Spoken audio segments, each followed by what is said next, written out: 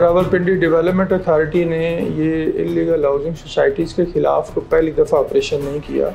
ये वक्ता फ़वक्ता रावलपिंडी डेवलपमेंट अथॉरिटी ऑपरेशन करती रहती है। मैं इसमें कमिश्नर रावलपिंडी लियाकत चट्टा साहब का शुक्रिया अदा करना चाहता हूँ कि उन्होंने कॉग्निजेंस ली और एक टास्क फोर्स बनाई है। तो वो टास्क फोर्स जो है, जितनी इलीगल हाउसिंग सोसाइटीज़ हैं, उनके ख़िलाफ़ कार्रवाई कर रही है। और पिछले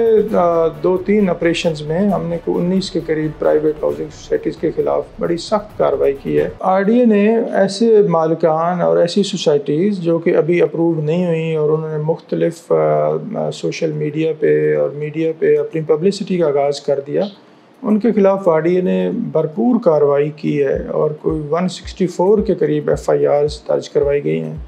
इसके अलावा F I A cyber crime के साथ आर का बड़ा क्लोज़ कोऑर्डिनेशन है, वो बड़ा ताउन करते हैं, हम उनको साथ साथ वो लेटर भेजते रहते हैं, वो उस पर अपनी कॉग्निजेंस लेते हैं। फिर यहाँ और इदारे हैं, जैसे पी एच ए रावलपिंडी है, या जो कंटोनमेंट बोर्ड्स हैं इवन हमने डी सी इस्लामाबाद को भी रिक्वेस्ट किया है, कि ऐसी किसी सोसाइटी को, जो कि अभी अप्रूव्ड नहीं है, उसको पब्लिसिटी मटेरियल किसी भी बिल बोर्ड पे ना लगाने दिया जाए। और मैसेज यही है कि जब तक आपको किसी भी मुतल अथॉरिटी इदारे से एन नहीं मिलता आप ना तो प्लाट बेच सकते हैं, ना उसकी पब्लिसिटी कर सकते हैं, ना सादा लो जो इंसान है, उनको एक कागज़ का टुकड़ा पकड़ा के तो प्लाट का मालिक बना सकते हैं। एक गवर्नमेंट का प्रोसीजर है गवर्नमेंट का प्रोसीजर फॉलो करना पड़ेगा और उसके बाद अगर आपकी अप्रूवल हो जाती है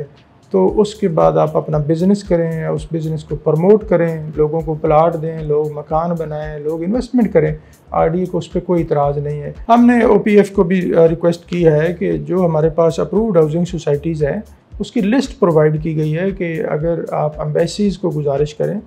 तो इन अप्रूव्ड हाउसिंग सोसाइटीज़ में अगर ओवरसीज़ पाकिस्तानी इन्वेस्टमेंट करना चाहता है तो ज़रूर करे। और साथ इलीगल जो सोसाइटीज़ हैं, उनकी लिस्ट भी प्रोवाइड की गई है। और यही काम आ, मैं ओवरसीज़ को भी ये गुजारिश करूँगा कि अगर कोई मेजर इन्वेस्टमेंट वो करना चाहते हैं और करें। पाकिस्तान में ज़रूरत है इस चीज़ की कि वो इन्वेस्टमेंट अपनी लेके आएँ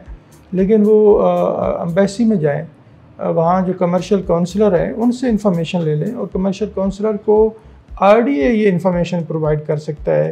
कि which is safe mode of investment in Pakistan हमने आर की वेबसाइट पे एक काशन लगाया हुआ है कि आपने अगर कोई इन्वेस्टमेंट करनी है या किसी सोसाइटी में प्लाट देना है तो आप आर की वेबसाइट विज़िट करें और जो अप्रूव्ड हाउसिंग सोसाइटीज़ हैं, वो 74 के करीब हमारे पास अप्रूव्ड हाउसिंग सोसाइटीज़ हैं।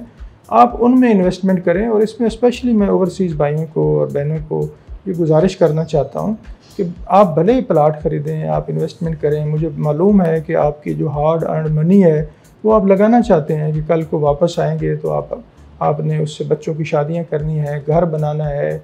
तो वो ऐसी जगह पे लगाएँ जो आर की वेबसाइट पे अप्रूव्ड हाउसिंग सोसाइटी और आर या कोई भी गवर्नमेंट का इदारा, वो हमेशा बिज़नेस को प्रमोट करने के लिए बैठा है। गवर्नमेंट का काम ही फैसिलिटेट करना है। हमारा पैगाम भी ये है कि जो अप्रूव्ड प्राइवेट हाउसिंग स्कीम्स हैं या सोसाइटीज़ हैं, उसमें लोग इन्वेस्टमेंट करें बिज़नेस करें उसकी गारंटी कॉन्स्टिट्यूशन ऑफ़ पाकिस्तान भी देता है बिज़नेस करने की, उसकी गारंटी गवर्नमेंट ऑफ़ पंजाब भी देती है, उसकी गारंटी आर भी देता है।